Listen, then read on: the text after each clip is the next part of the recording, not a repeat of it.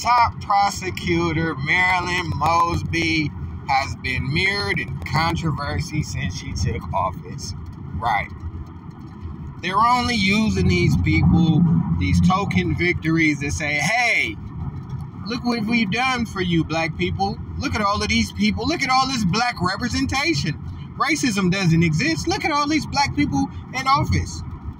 Two years later, all these people are on corruption cases because they came up visualizing and seeing these these corrupt Caucasians that they thought that they called friends act like they were, you know, standing up for black folks when all they were doing was trying to mimic what corrupt Caucasians, not all Caucasians are corrupt, but these politicians that are corrupt. They thought that they could do what the corrupt people did. No. You pass pass go go straight to jail. That's how it works. All these scamocrats are embarrassing minorities. You got London Breed destroying San Francisco. Um, she has already had ethics violation. Um, she's been caught with her mask down several times. Um, after she was forcing a mandate, she was caught with her mask down. Then she was a governor that lobbied to be the only city in California that went away with the indoor mask. Now San Francisco's uh, Omicron, Omicron cases are through the roof. And will she apologize or take accountability? No. Then you have Lightfoot in uh in Chicago. It's just like it's just a nationwide fiasco. Uh, minority women destroying these cities. Oh, and a minority men, because interestingly enough, Cuomo uh, stepped down as the mayor because of allegations. They put a black man in office supposed to be so different. The first thing he does is give non-citizens the ability to vote. I mean, black folks were second-class citizens. We were actually born here and couldn't get the right to vote.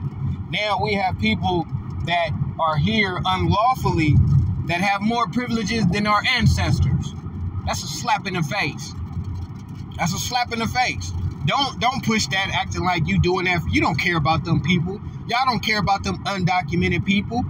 Y'all gonna let them vote, but they can't go to, to, to federal court to fight for their wages when, when the states, when these businesses steal their money. Wage theft is at an all-time high. Y'all doing the same thing y'all did to us. Y'all giving them hope, false hope, while all you're doing is undermining their progress and diluting their culture and making them dependent on your culture. I understand what you guys are doing. I'm not I'm not against the undocumented, but it's unlawful.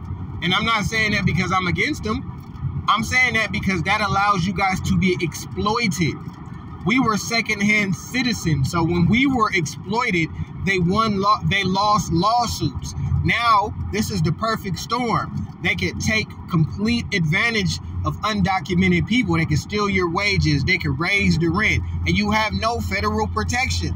The state will allow all of this to go on. They'll celebrate you here and use your bodies for labor, but they will not protect you when you are exploited.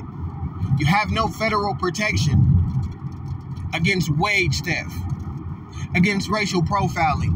You can legally be racial profiled and have no leg to stand on if they arrest you. I understand what they're doing.